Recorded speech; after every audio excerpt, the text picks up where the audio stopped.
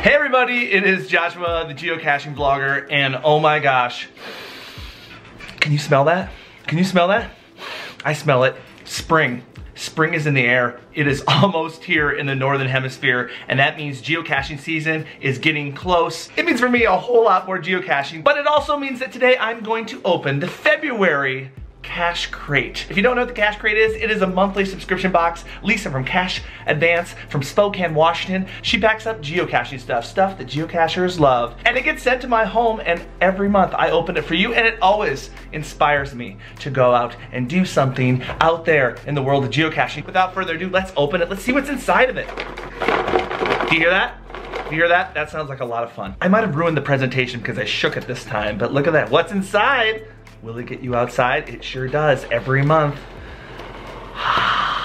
First of all, I see some adorable swag. Look at that swag. Isn't it cute? It's super stretchy and bendy. Well, we got some more swag. It's a little rubber ducky. Rubber ducky, you're the one. You make bath time lots of fun.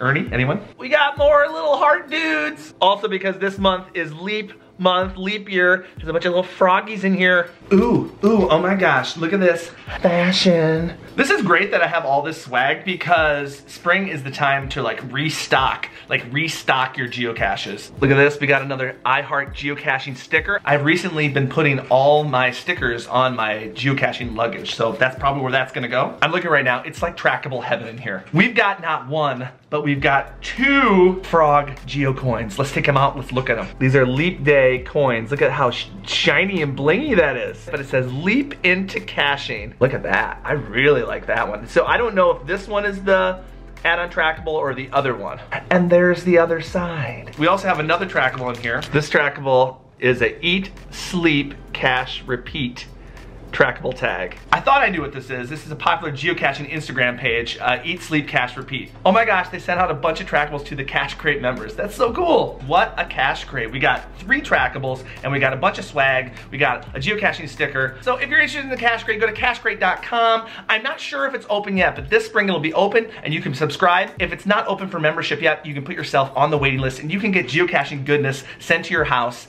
every single month, just like I do. The Cache Crate always inspires me, and I got so much swag. I got so much swag, guys. So I'm gonna take this swag and I'm gonna put it in one of my geocaches and I'm gonna fill it up, make sure all is good, make sure the logbooks are good. It's spring maintenance time. It's time. Okay, geocache, it's time for you to get some more swag.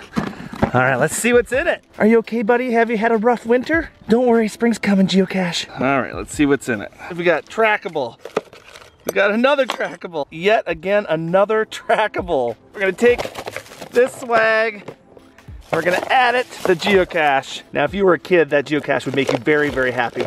All right, have a good spring geocache. You're all stocked up. Now I gotta go check out some logbooks. Let's go.